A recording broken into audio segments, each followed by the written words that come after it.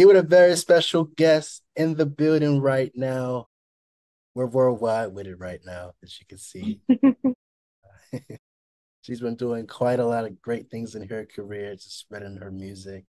Lots of great knowledge, lots of support throughout everybody in the industry, uh, spreading her love, peace, unity, and respect. Sophialfa. Hello, thanks for having me. How you doing? Good. Yeah, I woke up nice today. I'm honestly starting to turn into a night owl. It's only been a few nights, but I'm like, if my sleep schedule is 5 a.m. to 10 a.m., so be it. Like, at least I slept. Get get in that work in, pretty much, right? Because when it comes to music, like for example, two nights ago, I was working on music from 11 to 7 a.m. And I could just, that's literally my natural caffeine. It's just like being in that environment, like with other creatives and collaborators and just working on tracks. Like, I think that that alone says everything for me is that I don't get tired from doing that. So it's like really big. Oh, definitely. Uh, you know, and, and, speaking of your music that you've been doing uh, throughout the years that I've known you, you just recently released an album back in February of 2022 called Full Circle. Let's talk about your album and you know, what kind of led you to the creativity behind that. Yeah. Um, so that's my second project that I've done, and I've kind of turned into calling it like a mixtape because it's more of like a showcase of what I can do and like my capabilities. So I have a lot of vocals in the high range and also in the low range. And then I'm on different kinds of beats like go-go, R&B, pop, house, techno, all in like 14 songs. And so I think it's just an example of like my drive and like my capability of producing. So that was like I made that album in 9 months, I think. And that was because it was a mix of like I recorded it back home in Massachusetts and then I also recorded about half of it here on island. Um and I just really wanted to push out like since I started, since I decided to make music, I've been like, okay, I don't want to be talking about it. I want to be showing people like I mean what I'm saying, you know? So I think that's why uh, Full Circle came to be because it plays into the title of the album. My career in music has come full circle because like I didn't know this was a thing, like making money off creativity, off your like passion like that. Um, so when I discovered that during the pandemic, I was just like, looking at, you know, connecting my dots, my past and everything. I was just like, for some reason, I was, um, how do you say, like justifying or giving explanation to like why I'm so interested in music. Because again, I didn't see, I didn't know that this was a thing. Um, for whatever reason, I didn't know it was an option. But that's how I should say. It. I didn't know it was an option. And so I look back in my life and I'm just like, my entire life, I've been involved in music in some way, shape, or form. So yeah, I, I don't know if that um, album is going to be on Spotify much longer. I think it will because I'm actually releasing a single uh, in the month, August 25th, and I'm going to release it under Sophia Alpha. So, like my name, but two words instead of one. And so I think I'll leave both pages up because why not? But it's definitely going to be a turn from like, this was me showing you guys what I can do. This is me actually doing, you know? Or like doing my best. You mentioned about a new single that you're gonna be releasing. Can you tell us about the new single? You know, what is it about? What's the title? Mm. Like that. Yeah, it's called Test Run. And uh, it's one of those songs for me that like I just I wasn't thinking about anybody. I wasn't thinking about an experience. I just wrote it. So like I have a few songs already out. For example, Infatuated. The song um, the beat from YouTube is called Infatuated. So I was like, I like that word. I've had that feeling before. I'm going to write about it, you know? So I have some songs that people are like, oh, who's this about? I'm like, literally no one. And that's the best part. So, like, for my birthday bash, the concert, I introduced this one song that I called You're Not Shit, but it's going to, it's YNS, You're Not Shit. Um, and I was like, I wrote this about no one, but it relates to someone or like it applies to someone, you know? So it's like one of those uh, test run it got its title because basically the hook is like, I was your lust, not your love. I wasn't in this for fun. Um, I give you a test run, meaning like, you know, a trial. I tried it out. It didn't work out. I wasn't valued, kind of. That's what I'm saying. And it's definitely like R&B, rock, I'd say, because it has electric guitar. And I don't um believe in like putting myself in a box of a genre or like a style, but I definitely am leaning towards um more R&B because that's like it's just very easy for me to talk about my feelings that way and um or write about my feelings that way and then implementing a lot more live instrumentals like guitar, electric guitar, acoustic guitar, um the keys, stuff like that. So really trying to pick at people's, you know, heartstrings and then yeah, I'm really excited about it because I made it with my best friend as well. Um, and it's just a piece of art. you mentioned full circle earlier. Um, I gotta ask you, you know, you're from Massachusetts, you know, living in Hawaii. What has that been like for you living here in Hawaii? And if you had to pick a place that you had to show somebody that's never been to Hawaii, where would it be? Mm, good questions. Um, people ask me a lot, like, how was my transition? Because obviously, like, I was like, that's so classic of me to go the furthest place I could. Like, like honestly, this is the furthest point I could have chosen in the U.S. to go away from home. And for me, it was easy because my mom's actually from Dominican Republic, so like island girl lifestyle, definitely already. So, and my mom kind of too. People ask like, "How is your family okay with you?"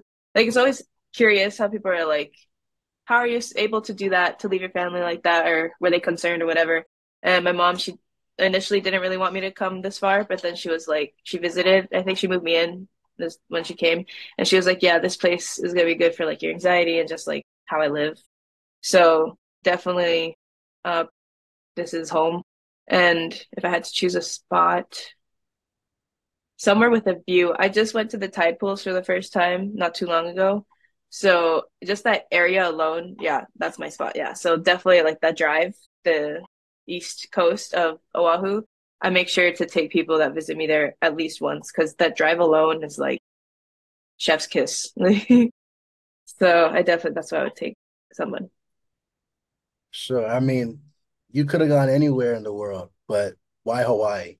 I think it was just destined. A lot of like I mentioned before, connecting my dots and stuff. I think a lot like I don't I don't know if it's because of imposter syndrome or something, but like I, f- I have to find reason for everything. And I know everything happens for a reason too.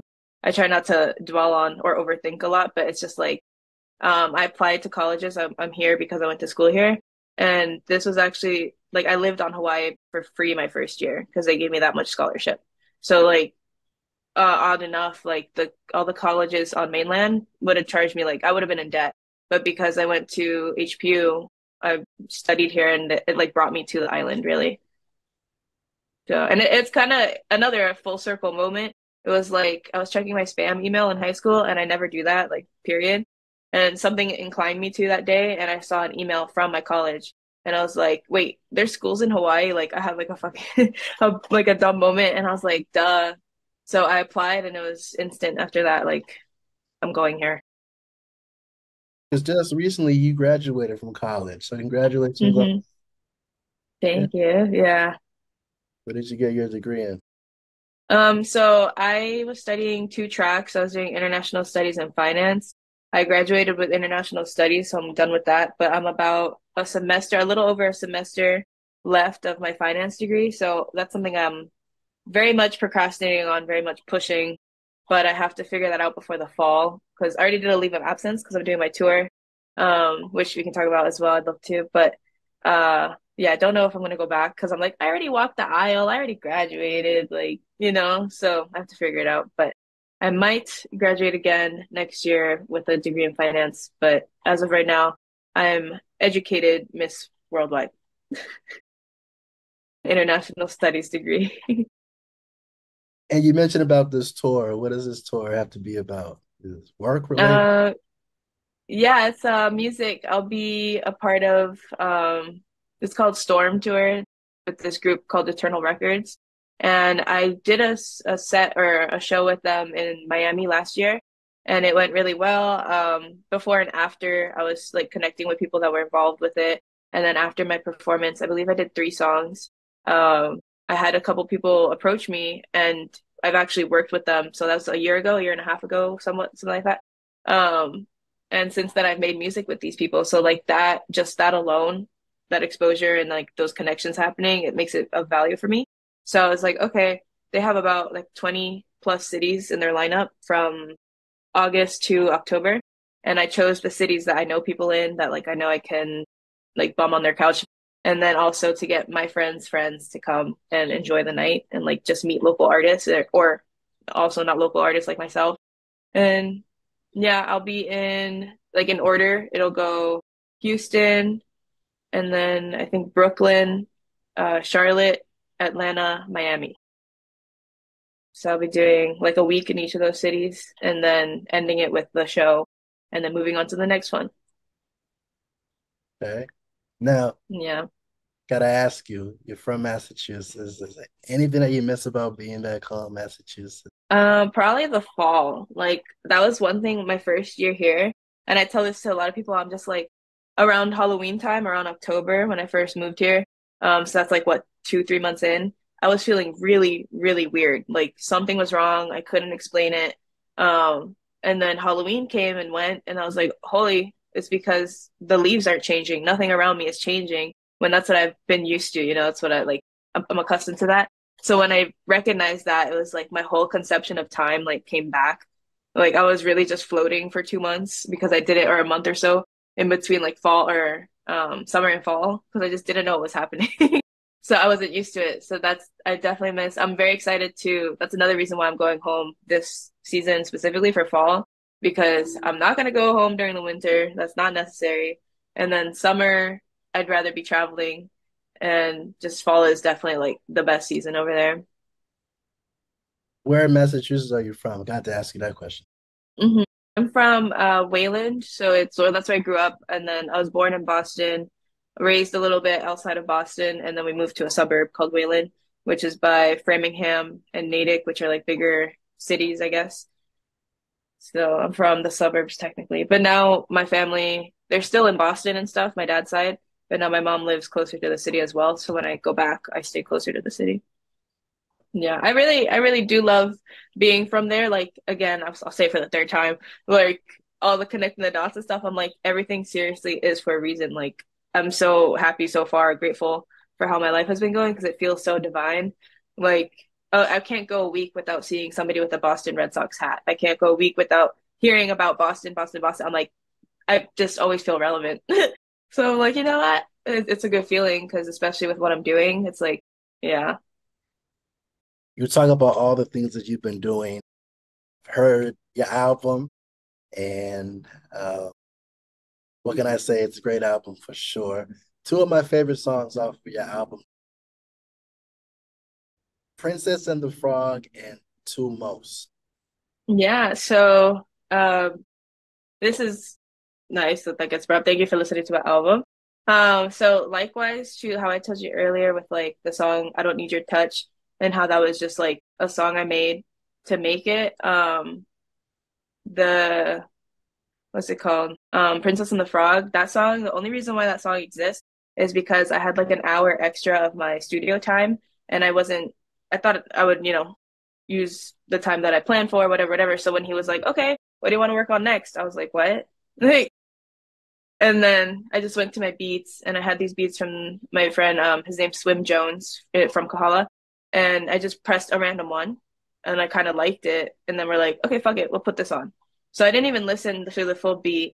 And we were like, okay, we'll work on this one. So we throw it on and I just had like three fortune cookies in my, or three fortune, fortunes, I guess, in my pocket. And that's how I started the song. Okay, I'll use this, this line. And so I wasn't even thinking about my album at that point, that project Full Circle. So with that song, I Don't Need Your Touch, I like to think that kind of kick-started the genre of that project because Princess and the Frog is similar um, sounding beat. So then once I had that done, I was like, now I have two songs in a similar style, and then I have all these other beats. So that's really it kick-started. Okay, I need to I need to make ten more songs just like this, you know.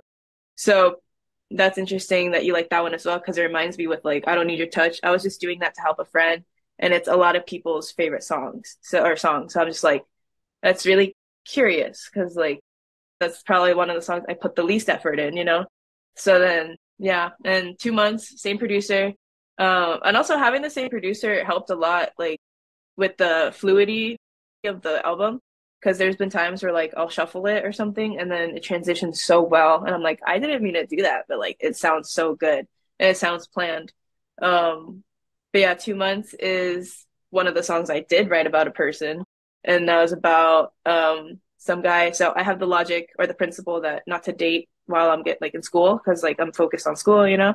Um, but during COVID, I took a semester off, and so I found myself kind of boot up, I guess, back home in Massachusetts.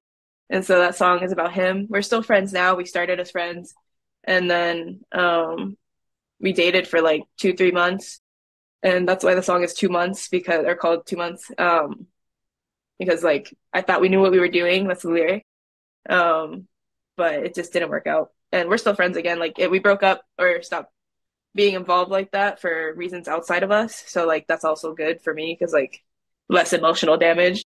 But um, yeah, that one I could very. I even showed him the song, and he's like, "Yeah." There's um funny story. I was with some guy, and he's a Leo. I don't know that to me that matters because like he he asked me, he's like, "Oh, so now are you gonna write a song about me?" And I was like, "What the like? Can you be any more of a Leo? Like you know?" So that just makes me laugh because like I did write the song about someone, showed him it, and he was just like, uh, it's interesting to hear that that's how you felt, you know?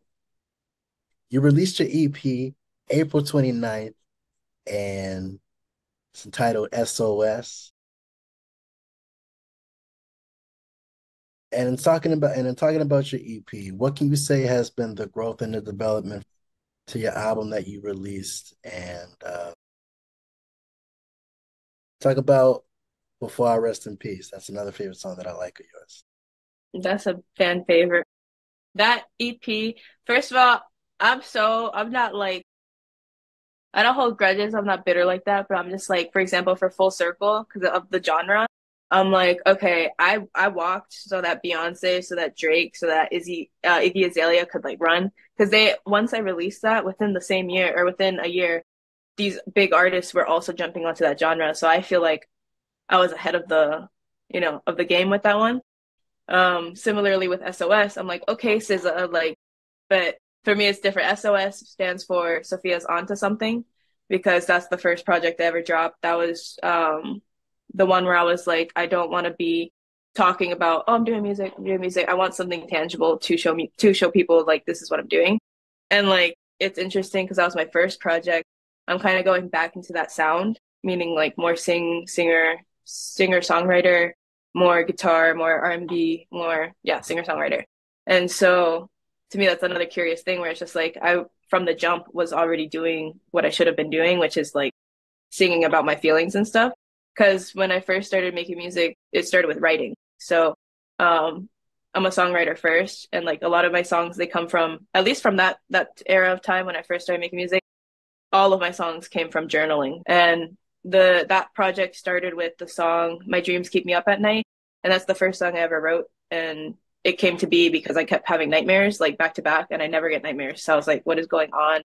And it was so strong, like the third night that it happened, that I had to write about it, and I like reflected on my like iPhone notes, and then I looked at it, and I was like, "There's kind of like a rhythm here, you know, like I could see something in it."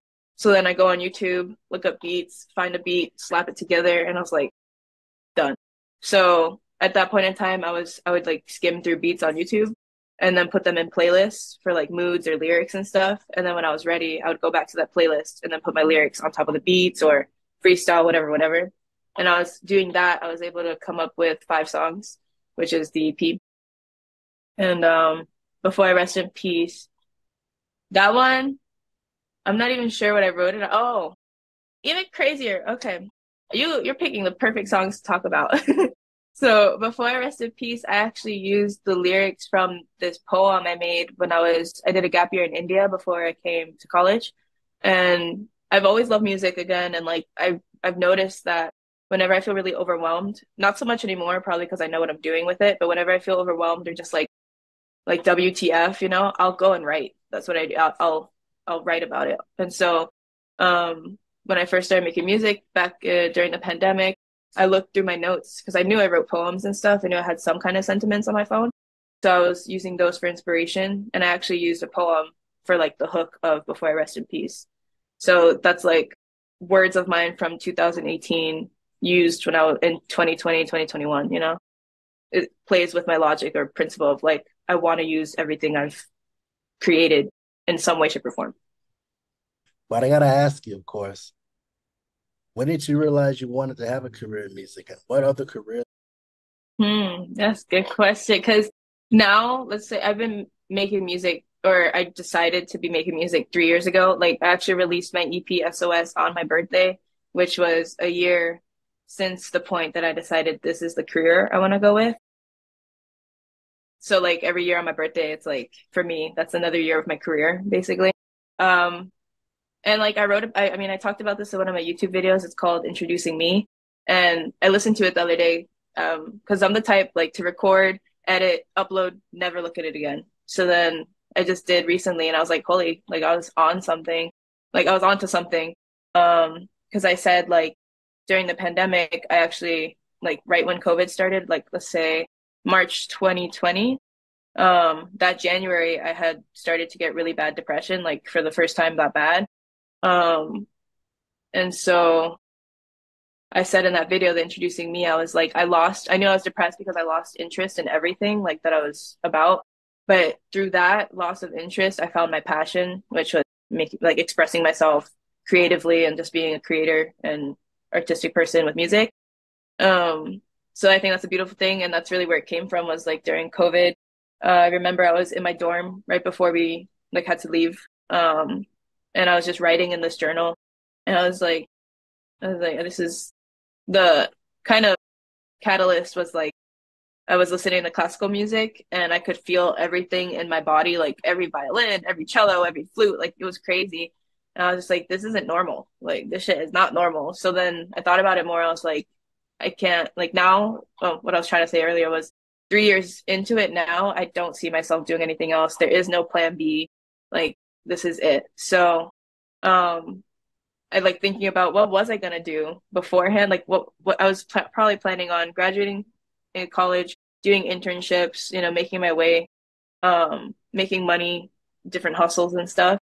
But I was probably just gonna end up like I don't know, being an entrepreneur with a nonprofit, which I can still do, and I'm definitely still interested in expanding my entrepreneurship. But yeah, I wouldn't. I don't know. I probably would have been involved with something with kids or something like that. Talk about three years of doing music. Uh, I gotta ask you, what do you enjoy about music? Since it's been about three years, so anything that you wish you would have known when you first started out in your career? Mm,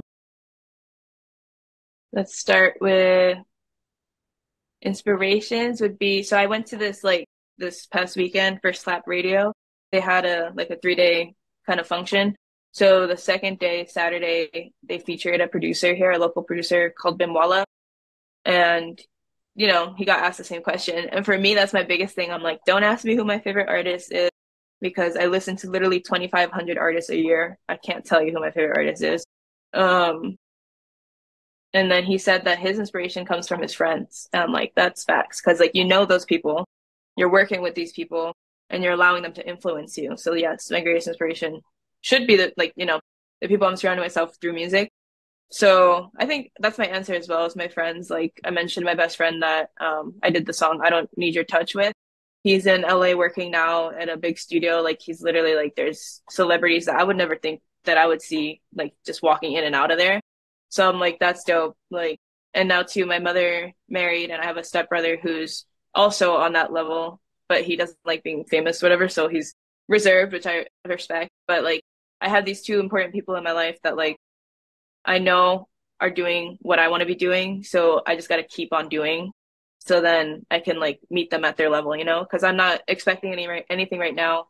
I'm not asking them for help because I'm not ready yet. So I want to be there for when the time comes for me to like, you know, truly take advantage of the opportunity. And then, yeah, one thing I would tell myself in my second year, um, I don't know how I came across it, but I applied for this scholarship called 1000 Dreams Fund. And it's for college students, for women in STEAM, so like science, tech, um, engineering, art, and math. And they added the art part for music. So I applied and I actually got a thousand dollars, which I think the highest grant was like twelve or fifteen hundred dollars. And like there was lower too, so I got pretty good amount. And that actually paid for all the beats of Full Circle. So it's like again, tell me I'm doing something wrong because I know I'm not. Like you can't tell me that I'm not doing something right. Cause, so that's one thing I would tell myself is like there's grants in this thing. There's things you keep because I stopped like after high school. I was OD like applying to a lot of things, scholarships, money, fund. Da, da, da. That's how I was able to come here to Hawaii. And um, I don't know. I, I guess I kind of just burnt out. So like now, finishing college and everything, I never applied for a scholarship again. Like after my sophomore year of college, I stopped applying.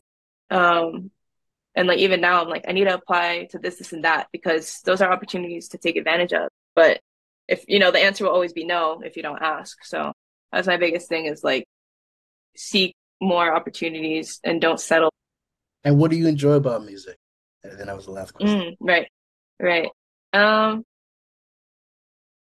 there's no wrong answer. but, you know, and just the fact that one thing again with the whole connecting the dots thing in high school, throughout high school, I would go to, and since middle school really, I would go to a lot of concerts and I just really enjoyed live music, you know, being in that environment of people enjoying having a good time. Um, and now like I would look, you know, I'd be a, the person in the crowd, take a step back and look at like what's going on around me. And I'm just like, if the fucking, if the performer says, put your hands up, what does everybody do? You know, like, like that's so much control and power through music. And so that's one thing I enjoy about it too, is that like a lot of people aren't conscious or aware of like the influence music has. Like I don't listen to drill very often. I don't listen to anything violent because I'm like I'm not an aggressive, angry person. So if I were to listen to that consistently, I think I would become more angry and like easily triggered. So I'm very much like whenever I get the chance or whenever it comes up, I definitely tell people I'm like you have to be aware of what you're listening to and what you're putting into your ears and your brain. So it's just like that's one thing I enjoy is that it's there's a quote and it was like physical art, like you know paintings and stuff is how we decorate our physical space, and then music is the way we decorate our audible like air space, you know? So that's like my favorite thing is just I can have it on for hours. I appreciate silence as well, but like just being in music for me, it's like I could do this for my whole life. So um there were definitely things like growing up that I would force myself to do or like learn. I would fall asleep at my computer like drained, you know? But this stuff like I can I have the energy for it. So that I think that's my favorite part is that it energizes me. For sure. Now you mentioned about, you know, just being able to be in peace, being able to be in relaxation. You mentioned earlier about anxiety. How has being in Hawaii helped you with anxiety? Man, I'm on island time. Like I think I used to be get very anxious, like willing to get in a car accident, like anxious to get to a place, you know? Um, but now it's like we'd rather have you here alive than in an accident trying to get here. So it's just like I definitely that's kind of like imprinted on me. It's just like take your time, don't rush. You're gonna get there, um, and just having the space to freaking breathe. You know, like like in Massachusetts, it's a lot of hubbub of like it's money there. There's a lot of money there, and it's because people are dedicating their lives to making money and running for money. When for like since I after India, my time in India, like I essentially just worked and then like back home and I saved up money. So I wasn't working for like almost a year, which was like unheard of for me. And in that time, like that also played into my anxiety because I was like budgeting and then I felt weird not working like that. That's kind of sad. Like not being able to, I remember my freshman year of college, I wrote down like figure out a way to not work and be peaceful and have peace with that, with not having a job, you know? And so it worked out because then after I had tried to do that, manage that, COVID happened. So it's not like I had a choice. But thank God I was training myself up until that point to handle not working, you know?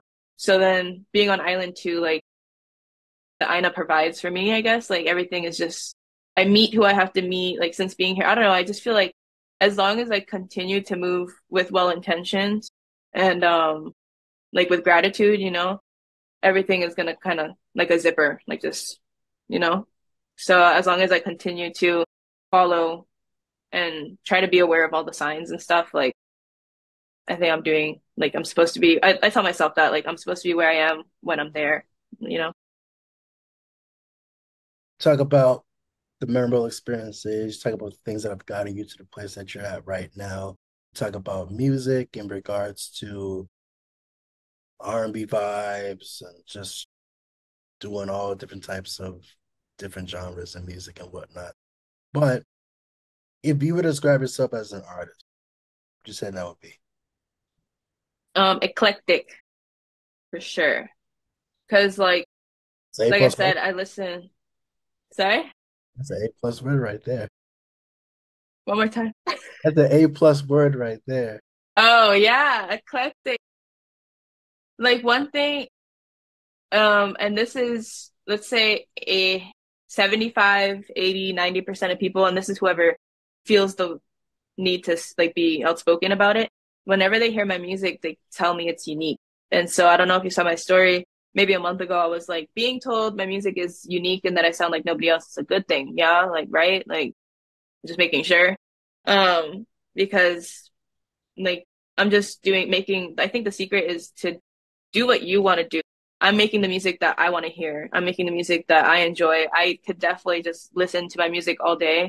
Um, I try not to because I'm like, I'd rather, I'm making music for people as well, not just for myself. So it's like, but as long as I'm enjoying what I'm doing, like, I, it's fine. Cause I, I'm also, I trust my judgment. I trust my taste in music because whenever I show people playlists or new songs, or whatever, they instantly save it. You know, they add it to their playlist, add it to their Spotify, whatever. So I'm like, I, I think I have a pretty good taste in music. So if I'm enjoying my taste or my music, then I'm like, I think I'm straight, you know?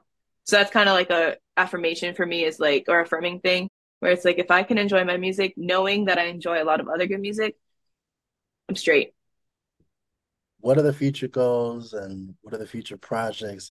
I know you mentioned about a tour and whatnot that you're doing, but what are the future goals? What are the future projects that we should be looking out for?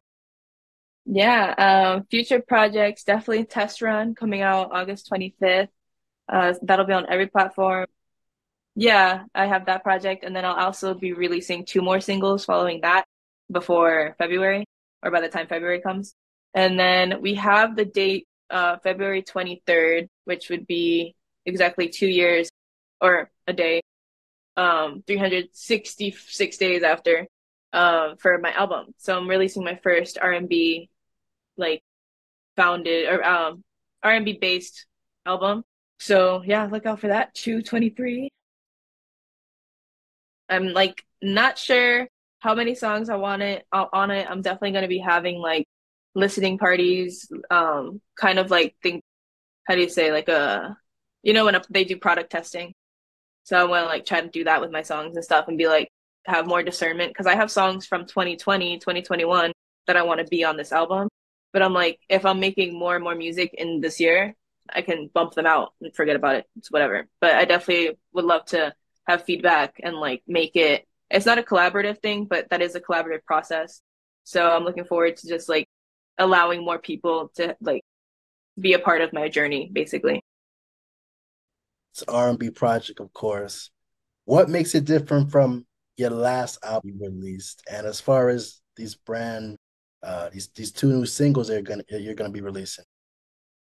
Mm, time, the time put in for sure. Like I mentioned, um, SOS, I made that in about eight months, or I want to say eight months. And then Full Circle, I made that in nine months.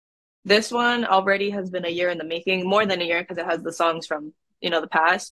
But like, for example, Test Run, I recorded that in August. I've been sitting with it and then we finalized it this past month. So that's technically a year in the making. Um, and I've always wanted to do that because before I was very like, one song a session, only touch on the song once and like it's done. I don't want that anymore. I want to be able to say I worked on this song for this amount of time. It had it took up this much time of my life and it shows. You know, I think it shows when you put more time and effort in things. So I've definitely been wanting to get to that part, like trusting the process. I remember when I was making my album, I was rushing the engineer because I'm like, I need this by February 22nd. Um, both projects have songs that aren't technically finished. And he told me, he's like, you can't rush this shit. and I'm like, you're right. You're right. I, I can't. So let's just try our hardest to get it done. Cause like he kind of humbled me in that way. He was like, you can't rush this art. And I'm like, okay, you're right. So that's my biggest difference in like allowing myself the time to make it the song I'd be proud of saying it's out. Like, you know, instead of rushing the last two projects, very last minute, like within I would say two, four weeks, everything was submitted, a week day of even. But this project coming up, the album, it's going to be finalized before 2024. It's going to be uploaded by 2024, not touched after the fact. So it's definitely more for me. That's like more professional, more prepared. Uh, three. I'm gonna do three, but this is insider information because I'm not like announcing. I know I've I've said stuff about an album coming out, but I'm just gonna be focused on singles. So then by the time 2024 comes, I'll be like, oh, by the way, those three singles I just dropped, they're on an album. So it's like teasing people basically. And like honestly, the secret with my my logic with the albums, I mean, sorry, the singles is like you build up more hype every time you drop something, right? So it's like so I definitely want like with each single, I want more followers on my platforms like Spotify because it it notifies you whenever an artist drops something. So I want more followers each time on Spotify and YouTube and just people to get notified more so that they can expect like I want it to be like all the pre-saves, you know? Like pre-save test run, once that's uploaded, I'm going to be pushing that through people's throats cuz I'm like once it's pre-saved and then it's uploaded, it gets instantly added to your playlist and then let's say you're shuffling and then it comes up, you're like, when did I save that? And it's like, oh, right. So I'm trying to build up hype and then they're R&B um esque and then also like I kind of rap in them too. I go a little harder. So I have one song that I just finished or not finished, but I just remade, I guess, with my friend, um, the one from LA. And it's called Where Are My Friends when it was originally called Connected. Like I've only recorded on that beat twice, once by myself and then once with my friend and the one with my friend like such a different vibe so much stronger so much better um and i think i can credit it to not working alone on it like mostly but also just like being more experimental with it so i'm gonna drop that's gonna be the third single where are my friends once that's done i'm i'm also be pushing out that down people's throats because it's different and i love it and then the second um single is probably gonna be more acoustic so i'm trying to like show different vibes, but still be within that like frame of this is what I'm doing. Well, I'm definitely proud of all your success in music and I can't wait. Appreciate your time. Wish you all the best. Thank you. Appreciate you for having me.